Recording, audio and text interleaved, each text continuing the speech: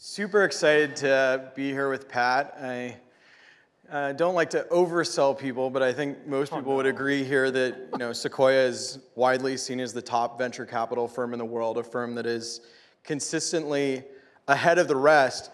And Pat is one of the leaders at the firm. Uh, Pat, when did you guys start to like catch wind, I guess, of generative AI, or like how how do you sort of get the the signs? Like when did you sort of see? Oh, I think this is going to be another wave? Well, first off, that was a very kind introduction, so thank you. Um, you know, there's an answer that I'm supposed to give, which is back in 1993, we made the Series A investment in NVIDIA. And like, that is true, but NVIDIA was not. and you didn't ride the NVIDIA. Yeah, yeah. Since 1993, we've been waiting for this moment. Um, uh, no, no, we, we, we did have a series of investments that kind of clued us in on some of the things that were happening, but I would, I would probably say it was sort of 2016, 2017, 2018 happens to be when the original Transformer paper came out, but it was less about what was happening in, in AI, more about what was not happening in cloud and mobile. Because from a venture standpoint, that was pretty late cycle for cloud and mobile, and a lot of the ideas that we were seeing were sort of derivative ideas that didn't feel like they were addressing first-class market opportunities. And so we started dedicating more of our time to just kind of scanning the horizon and figuring out what else might be out there. And you know, one observation we had was a lot of prior tectonic shifts have been revolutions in distribution, where you increased the accessibility of technology by an order of magnitude. And with the mobile phone, revolutions in distribution have kind of reached their limit. Like seven of the eight billion. We're holding it all the time. Yeah. We got it, right? right? And so, okay, well, if, if breadth is not going to be the next dimension, it must be depth, which means it's probably going to be a revolution in computation, okay? Some of the most interesting and, and richest application experiences we see are driven by a lot of machine learning. And so we started thinking about kind of data, machine learning, that whole soup. And that sort of led us to, you know, that led us to the modern data stack, but it also led us to like Hugging Face and OpenAI and some of these other companies.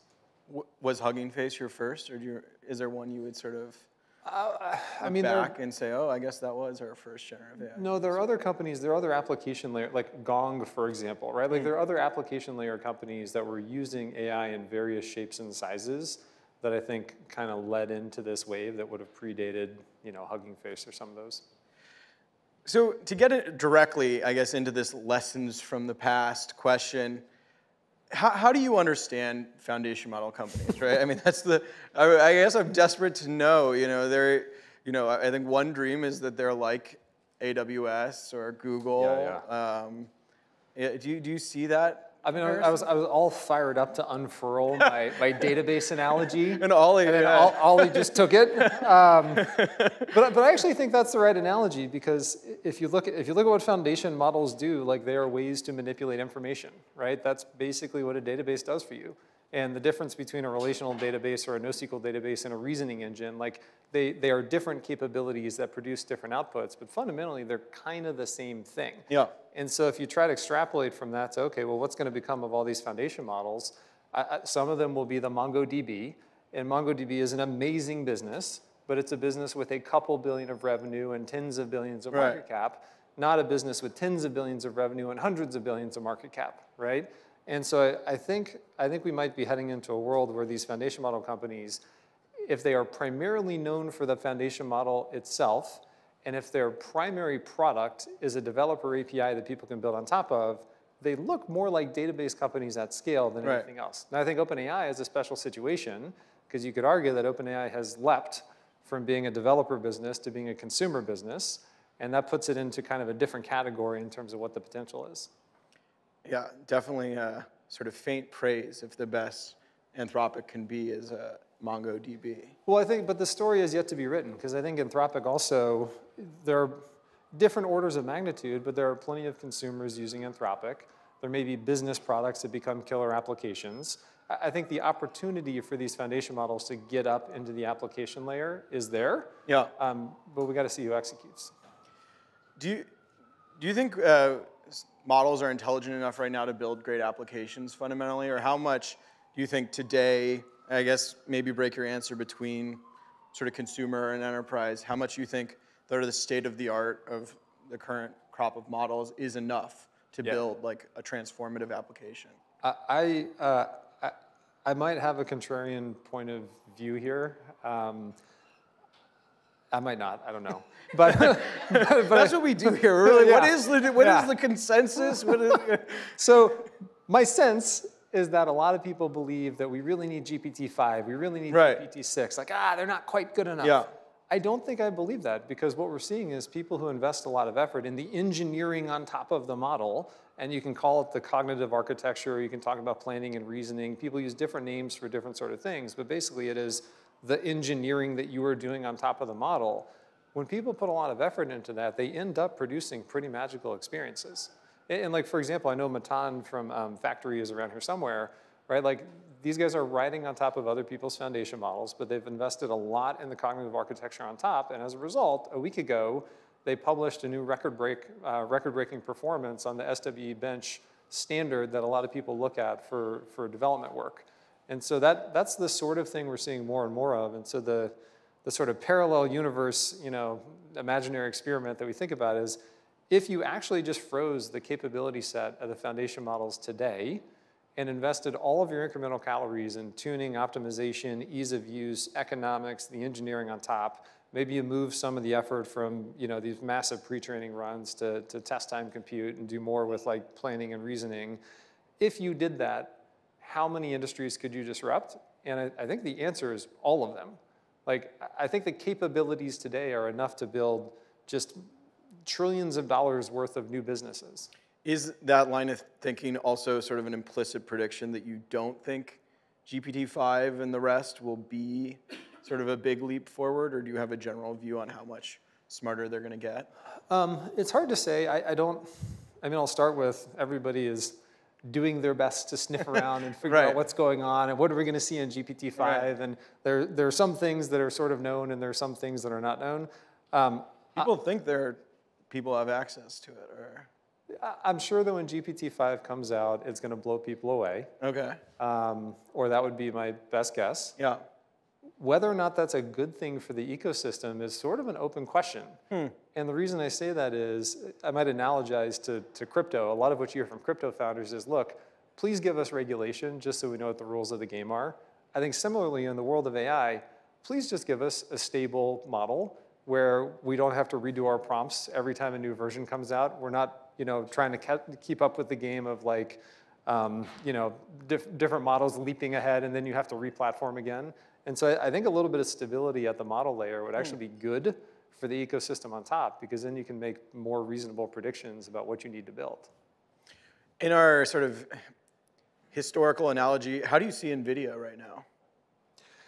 Well, um, Are you a buyer, or so you could be, right? I, you know, my my purview is finding companies with a couple million His of lights revenue. are really light. A lot of Yeah. See, I, I like to find companies with a couple million of revenue and figure out if they can have a couple billion of Yeah. revenue. That's more my, my business. Um, if we're going to analogize to, you know, if we go back to the internet transition, right? Like where we are in AI right now feels like we're sort of late 90s, right? Netscape moment was 1996, which was when there was broad awareness of the power of the internet. That was the ChatGPT moment in the fall of 2022. Um, fast forward a couple years, the most valuable company on the planet was Cisco because they were laying the train tracks for the internet. Um, I think the analog to Cisco today is NVIDIA. It is the core infrastructure provider for AI. Um, I think when you lay the train tracks for the internet, those train tracks have a pretty long useful life. I think when you're doing training runs and GPUs that depreciate in 24 months, the useful life is a little bit different. You could argue that's good for an NVIDIA because they got to keep selling GPUs. You could argue that's bad for the people who are buying those GPUs because you may not be getting the return on all that capex. Right.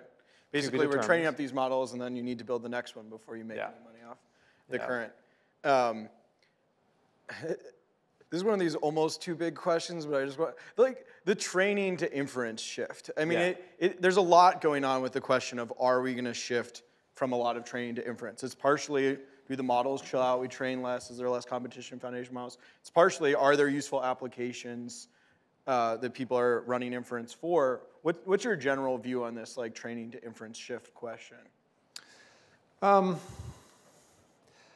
I think in general, the amount of training that's taken place is probably more than we need. you know, back, back to my point on like tuning, optimization, ease of Right. use, you know, the engineering on top of the foundation models. I think some of the commentary earlier today was talking about how, um, you know, PhDs have become a currency in and of themselves, and a lot of people believe that they need to go vertically integrated and train their own model, in part because that's like the sexy, fun thing to do. Right. But I think from a pragmatic standpoint, again, there's enough out there that's already been trained that you can build a pretty wide variety of great experiences.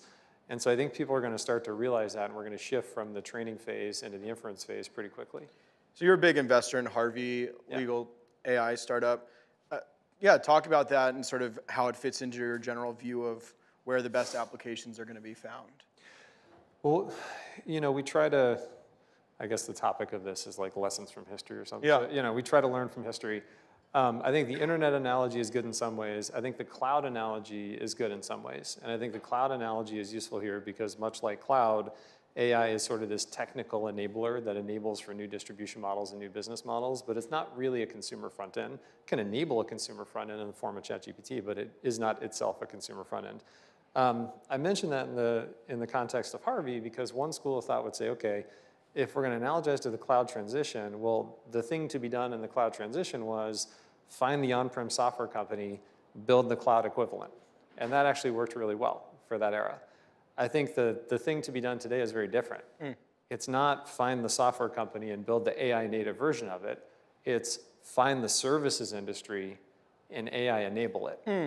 And if you go through the list of services industries that are large and bullseyes from a capability standpoint, legal is at the top of the list.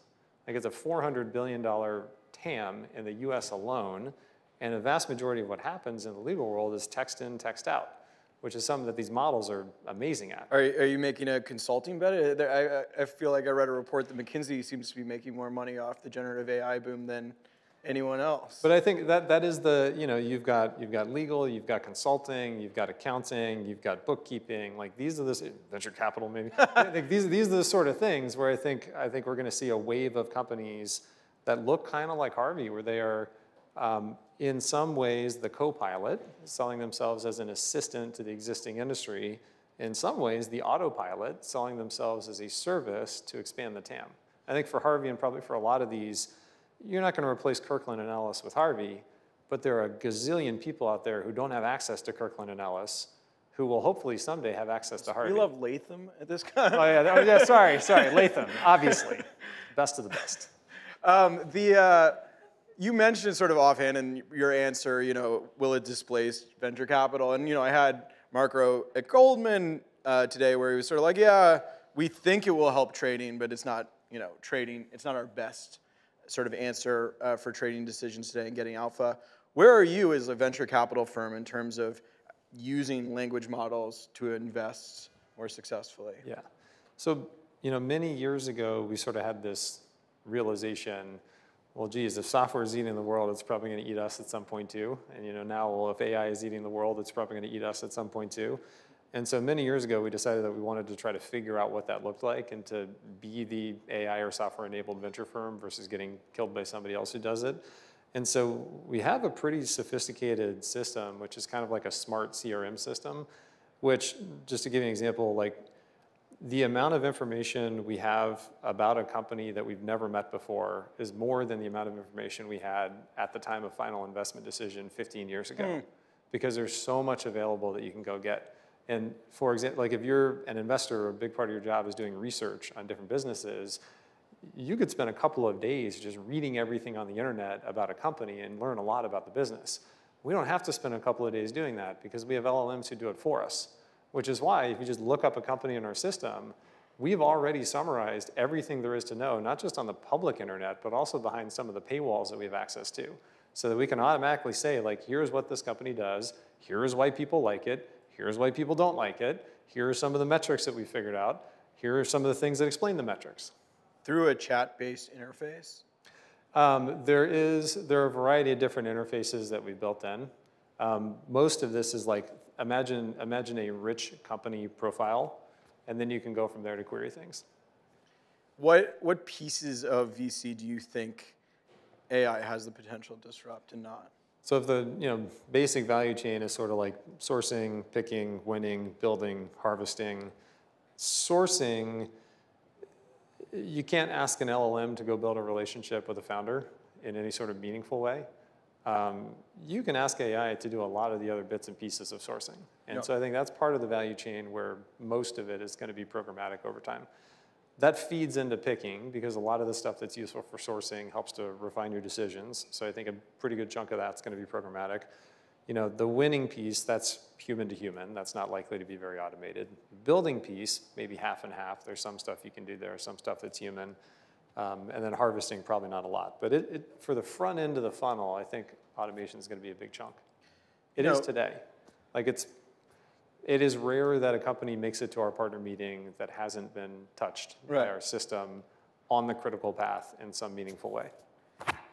Go, going back to the sort of lessons from history, I mean, we've talked about sort of comparison companies, and you, you sort of touched on this, but sort of the natural hype waves of any cycle. You know, I think Yeah. we experienced like the crypto boom. You know, that was, I think, very different because I believe in sort of a lot of the technological changes in AI that I didn't quite believe in crypto. But what just, not just crypto, but you know, the dot coms, uh, the financial crisis. Where do you see us in sort of that boom bust cycle right now? It, it, I mean, it feels like we've kind of gone through this contracted hype cycle where, because with cloud as an example, there was no Netscape moment with cloud. And so cloud was sort of this very long build as one company after another moved one workload after another into the cloud. You know, with the internet, there was this public moment with Netscape. I think with AI, there was this public moment with ChatGPT. I think as a result, the hype cycle got smashed into a shorter period of time. We've sort of been through the peak of inflated expectations. I think we would have predicted that the start of this year was when that training to inference shift was really going to begin, and a lot of things were going to start going into production. It still hasn't really happened. Right. And so I, I think what we're seeing is people kind of fighting their way out of that like trough of disillusionment into the whatever that other thing is called. Um, so I, th- I think we're seeing the reality set in. I actually don't think there's a lot of hype. We'll just be crystal clear. Like there is a bubble in terms of funding for AI. Great, Let, let me just say that explicitly. Yeah. But I think the reality of people building with it is fairly sober, and people sort of understand at this point we're actually talking about engineering challenges to make this stuff useful. We're not talking about magic in a box. Uh, two companies outside of your portfolio that you're most bullish on in AI? I can't think of companies outside of our, our portfolio. Um, companies outside of our portfolio that are most bullish. Well, um, I know, I think Sarah mentioned HeyGen earlier this morning. Um, HeyGen is not in our portfolio. I Yeah. think Joshua was amazing. Um, I think that product has pretty broad applicability, so I'll, I'll give that as one. And then another company, I think Shardul mentioned Augment this morning. Yeah. Um, they're different, like many different approaches to that general category. I think that's a very good team, and that's a, that's a business that I admire in a lot of ways. Are you personally chasing consumer bets? I sure try not to. And in terms of our mini waves, like the, the whole like SaaS wave, is it sort of destroyed or is it coming out? Do you see oh. opportunity there? Or like, Well, this in is- some ways, you know, AI papered over like a brutal downturn in Yeah, this is interesting. SaaS. Well, this is interesting. We had our LP meeting that we do every two years, just a couple months ago, and like the most often asked question that we got from LPs was, "Is AI going to hurt the existing portfolio?" Because there's a lot of software in the existing portfolio. I think no, and it's in part because of what I said earlier. This is not AI is going to go kill the current generation of software companies. This is AI is going to go after services industries. I think that's a bigger opportunity. Um, but also, if you look at the sort of existing SaaS companies, um, they already have data, they already have distribution. A lot of the power of this product is freely available in the open source world or through one of the foundation models. And so if the classic battle between startups and incumbents is can startups build distribution before incumbents build cool products, the answer here is like in most cases, no, the incumbents can build cool products pretty quickly. Now that being said, a lot of people want to talk about the data advantage that incumbents have. I think that is a mirage for most of these Yeah. incumbents because their internal systems are such a mess and their contracts are written in such a way that they probably can't actually do as much as you would like to believe they can do with all of their own data. Pat Grady, thank you so much. Thank you.